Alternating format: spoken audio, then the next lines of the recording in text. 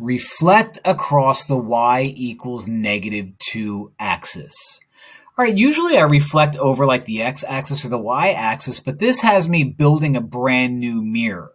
y equals negative 2 means I'm going to have a horizontal line that goes through negative 2. So let's go to the y-axis, since it's y equals. Let's go to the y-axis and go down to negative 2. There you are.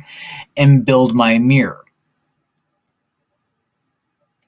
Now what I'm going to do is reflect this guy up here.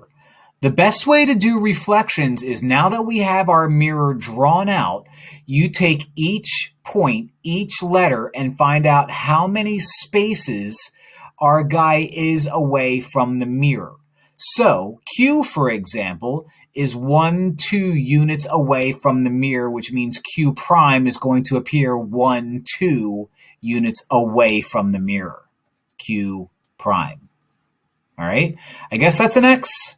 Maybe, I don't know. Maybe it's an L. Maybe it's a Z. I can't tell. Let's call it a Z. It looks like a Z now that I look at it closely. So you're a Z now. Z appears to be one, two, three units away. So one, two, three units away, Z prime. I seems to be on the mirror. So don't move it. Okay, that's allowed to happen. And E appears to be one unit away from the mirror. So E prime is going to be one unit away from the mirror. And now the part that I'm always terrible at is drawing this guy out. Oh man, why is it so far away? That's not too bad. That's not too bad either. Maybe I'm finally getting better at this. So there you have it. There it is. There's our reflection. You can see that this guy is completely reflected just get some bonus points and get some more time added to this YouTube video so I get a little bit more money, we're going to list what these four points out. In no particular order, I prime. Now, I measure my prime points from the original origin, not from like this green line or anything like that. So my origin is right there.